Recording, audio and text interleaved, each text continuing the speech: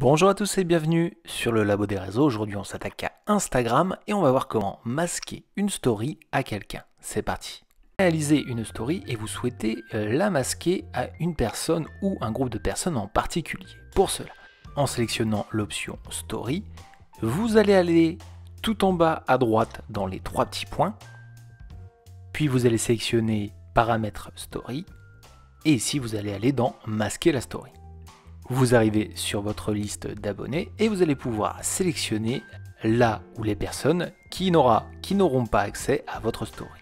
Ainsi, à chaque fois que vous publierez une story, cette personne n'aura pas accès à celle-ci. Si vous souhaitez changer la liste de personnes ayant accès à votre story, il suffit de faire le chemin inverse et de désélectionner les personnes qui étaient sur cette liste. C'est la fin de ce tuto, merci de l'avoir suivi. Je vous donne rendez-vous sur le Labo des réseaux pour l'ensemble de nos tutos autour des réseaux sociaux. A très bientôt